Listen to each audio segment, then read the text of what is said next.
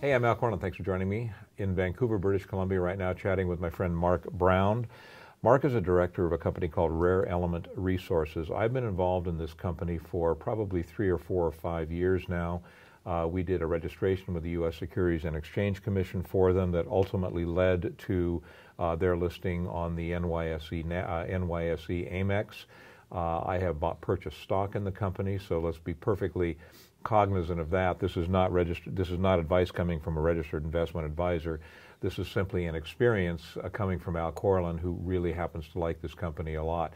As my buddy Bob Moriarty from 321 Gold says, you know, I am highly prejudiced in this particular situation. I still do, as I said, own shares in Rare Element. Let me give you just a little bit of a background of this company. Number one, uh, Rare Element has a very, very strong asset in the United States that Mark is going to talk about. But let's talk a little bit about the players.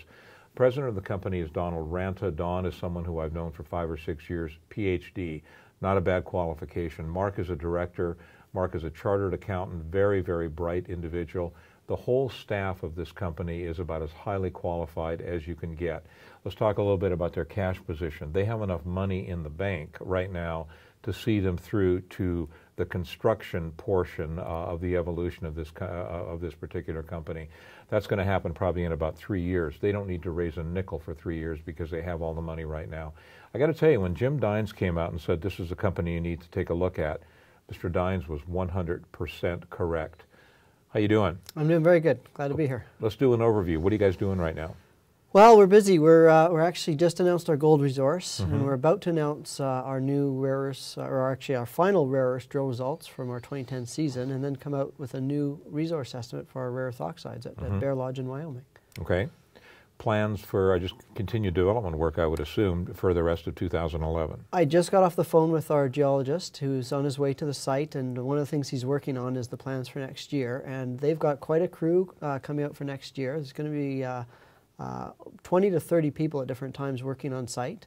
Uh, very large drill programs uh, on both the gold targets and on the rare earth projects. It's going to be a busy place. This year. This year, yes. Yeah, you're saying that next year, this year. This year, yes. Okay. 2011, this this summer coming up. Okay, so you're going to work on both the rare element aspect of, uh, of the asset and also the precious metals aspect of the asset. Absolutely. I mean, the gold resource we just announced uh, is, is the first resource, and it's uh, that part of the program is behind the rare earths. And the rare earths is the real key to the company and the value, although the gold is very nice as well. But the rare earths is the, the major driving factor of the company. If I'm not mistaken, I, and I've been following rare earth companies now for quite some time, you're the only uh, rare element resources is the only company that I have invested in. But I think in terms of development and in terms of, uh, I, I, guess I'll use the word loosely, share appreciation, you guys are the leaders of the pack, so to speak. There, there's a whole bunch of reasons for that, and you know, one is that we've had great success on our exploration. Okay. Our, our guys in the field have been drilling, and the deposits getting larger and larger, and our even our grades of our rare earth oxides have been getting higher and higher. Mm-hmm. Another thing is that we have a very tight share structure. So we've got about 43.5 million shares outstanding now, which makes our shares very volatile. And the final reason is just what's the macro uh, effect of what's been going on in, in, the rare earth markets. And the rare earth prices have uh, gone up about 7 to 800 percent uh, since last August. Let's go back just to one, to one, thing you said a couple sentences ago. You said that we have a tight share structure, and that what, that's what makes the share price very volatile. And then your next comment was, or your comment in, in conjunction with that was, we have about 43 million shares outstanding. Okay, for a junior company, you need to be aware outstanding number of shares of 43 million is not a small number. But in the case of Rare Element, the reason that Mark is saying is what he, you know, making the comment about a, a tight share structure, that means that the, in effect the float, the amount of stock available for trading is small, okay? Why is that going on with Rare Element Resources? One simple reason a lot of the stock is held by management. A lot of the stock is held by directors. A lot of the stock is held by insiders. You guys aren't selling. No, we're not. There's been a few small uh, exercises of stock options, but the, the team has actually been, uh, in some cases, uh, acquiring stock. Our president, Don Ranta, actually uh, exercised stock options for about 140,000 shares, sold a very small portion, and is actually holding the rest, which is a, a very good uh, vote of confidence oh, for, exactly. for, what's going on with the company. Yeah, no question about it. Let's talk real quickly about the management team because I have found in, in over 30 years of investing, I have found it's, re- I mean, sure, it's about the assets, sure, it's about the amount of money you have, but it's really about the people steering the ship, so to speak. Talk about the top three or four people. We've been uh, we've been building out the team this year, and what we've done is taken some of our consultants and made them into full time, uh, high level executives. Actually, Right. I mean Don Ranta is a PhD geologist, as you said, and he's been fantastic to work with, and the real driver behind the company. Okay. Um, we just hired a gentleman who's a mining engineer, actually a metallurgist by trade. Um, we hired him from a company called Knight Piésold. Mhm. Uh, Jaye Pickarts, he's been appointed as our chief operating officer. And uh, we've also already worked with him for about uh, eight or nine months. And Mhm. uh, it's been a great relationship, and he's happy to join us full time now. Super. So and he was one of the top guys there. We've also engaged a gentleman called George Byers. Mhm. Again, George worked for a, a, a government relations uh, firm uh, down in Denver and uh, left the group to actually join us full time.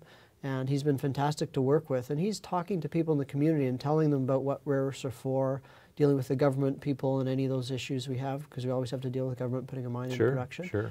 And he's been a fantastic communicator, and we've had a lot of support from the government. There's, there's a number of meetings coming up over the next few months, just to just to keep them apprised at this point.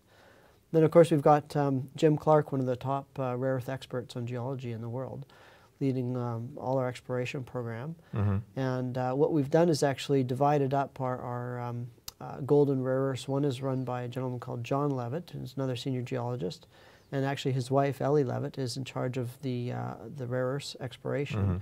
And they both report into a gentleman called John Ray, who's another senior geologist as well, who will report, report to Jim Clark. And uh, under them, there's a number of field geologists, but we, we've really got a great team there. And as an example, last year, we did, drilled a record number of holes. It was actually more than we planned to drill. Mhm. And one of the reasons they kept drilling is because they kept hitting higher and higher grades as they were doing step out holes. And they were uh, excited last year because they didn't get to the edge of the deposit. The deposit is still getting bigger Wow. on a couple of sides. So there's a lot of exciting things happening on the ground there. Going to be a really interesting year, I have to believe, for news flow. I mean, you guys are pretty active down there, and I would guess that there's some probably big events right around the corner for this company. We think so. Uh, we, you know, we had a lot of great results this year, but we had one really interesting surprise that we're going to be uh, uh, working on with the drill this year, which is that uh, one of our gold pods, which is about uh, 350 meters away from our rare earths uh, deposit, um, actually hit in the gold. We hit a couple intercepts, one of which of rare earths, Mhm. uh, one of which was uh, 4.6% over 30 uh, feet. So you're talking high grade rare earths. Um, we did not expect that. And this was in the gold pod. That was in the gold Yeah. pod. And actually, on the rare earth side, directly in line with that, about 350 meters away, in one of our rare earth holes, we actually hit 80 feet of one gram per ton gold. And those are all in our news releases, and we didn't say a lot about those because they were little surprises for us. They're pleasant surprises. The, the deposits are still a separate areas, so they're not overlapping within the same holes. But there's a huge area in the middle there that is wide open that we need to go and do quite a bit of work on this year.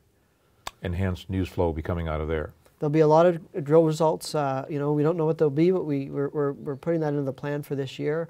We also have to follow up on these step out areas where we're Mhm, getting high grade uh, uh, returns on the, on the rare earth oxides. Um, we're also doing uh, what's interesting outside of the project. We've taken a 10 ton bulk sample. Mhm. And uh, this is actually very exciting. It sounds kind of boring, but it's exciting because we're running through this uh, through a test plant down in Denver. Mhm. And at the end of that test plant is going to come out a sample of actual rare earth concentrates. And Wow. that'll be the first product we've actually had on, on a major scale. We've done this on the bench scale testing. And, Mhm. and uh, so this product we're going to get, we'll be able to use for two things. Number one, uh, further metallurgical testing for separation of the individual rare earths. And number two, showing it to customers. Sure. And that's, that's very exciting for us because we have not gone out and solicited customers. We've had some people come to us, but we've said, you know, hold on now. We want to be able to show you something before Sure. we can talk to you. So that, that's a really big deal for us. Let's talk about another really big deal. Here you have a company that's run by a large number of highly qualified people who are obviously dedicated to the company. Number two, you've got a significant asset located in a politically very, very stable, hopefully very, very stable area, uh, the United States. Number three, they have plenty of money. There's no need, there's absolutely no need for Rare Element Resources to go out and raise any money until they actually get to the production stage, which is predicted uh, to be 2014. You know, I have to tell you, you have to wonder why a company like this is called a junior resource company when they have the sophisticated management that they do, the assets, et cetera. Last point, again, in the interest of full disclosure, Big Al is not a registered investment advisor. Uh, we are simply talking about a company that Mark is intimately involved in and a company that I happen to like and have invested in. Don't take this as investment advice. Click on their banner on our website. You get all the information you want about rare element resources. Uh, you can make your own decisions about that after you have looked at all the information. Mark, thanks so much, buddy. Thanks very much. Great to be here.